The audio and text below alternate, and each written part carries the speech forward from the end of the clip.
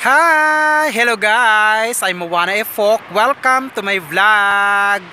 Hello guys! Andito po ako ngayon sa Sur. Ito po yung tinatawag na Sur Beach na kung saan po ito po yung pinakamagandang lugar dito sa Oman at marami pong mga dayuhang uh, pumupunta ho rito. Ngayon guys, ang Sor po isa po sa pinakamagandang uh, beach nga kasi dito natin matatagpuan yung malalaking turtle so yung mga pawikan pong malalaki.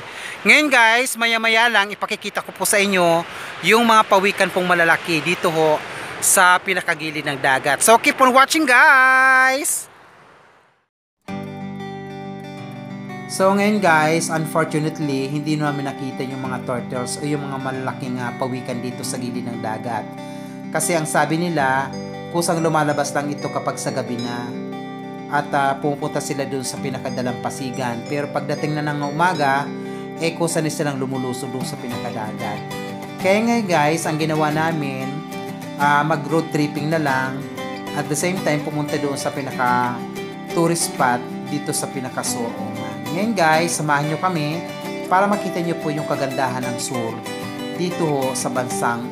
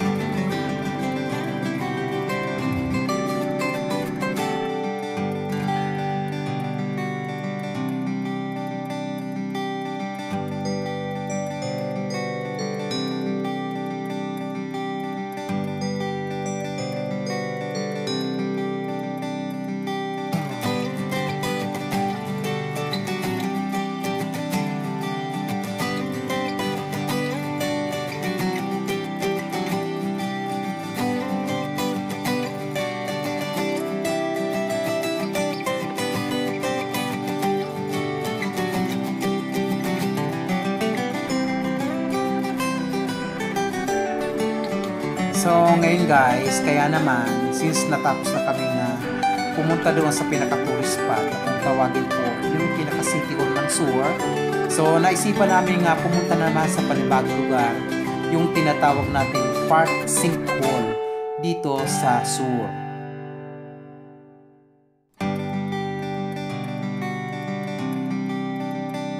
So ngayon guys, ilang saglit lang mararating na natin yung pinaka-final destination na kung tawagin yung pinaka-park sinkhole.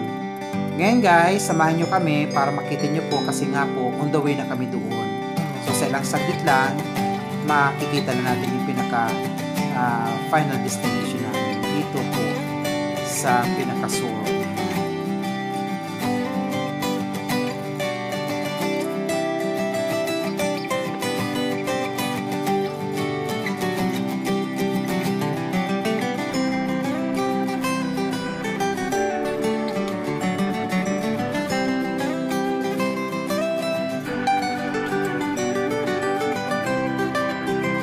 So ngayon guys, finally, narating na rin namin yung pinaka-simple part.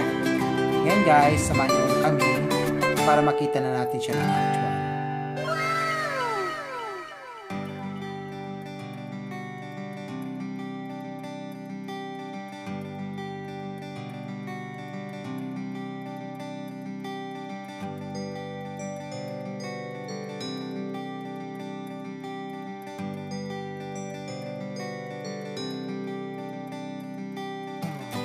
So, at syempre guys, so kinakailangan talaga natin siyang babain. At, at syempre, kinakailangan talaga natin makita ng actual yung kabubuhan ng pinaka uh, sinkhole. At the same time, at para makita na rin natin yung pinaka water niya kasi makikita natin o mapapansin natin na talagang bluish yung pinakakulay ng water.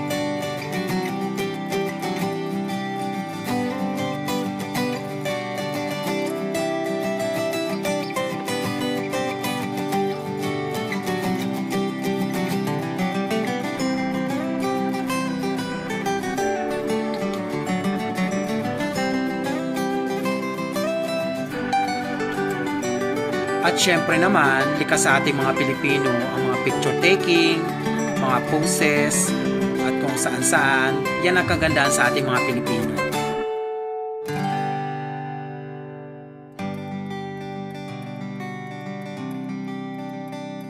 So ngayon guys, since tapos na kaming makapag-road tripping at makapunta nga doon sa iba't ibang lugar dito sa sur, at syempre masasabi natin ang mundo ay napakaganda. The world is so very very beautiful. Kaya nga guys, eto nagpiprepara na para makabalik na sa Muscat City at makapag-umpisa na naman sa hanap buhay sa pang-araw-araw. Ngayon guys, syempre, daladala namin sa puso't isipan namin ang kaligayahan, kagalakan, na ang mundo ay napakaganda, ang kalikasan ay napakaganda. Ngayon guys, thank you very much for watching this video. Bye! God bless us all!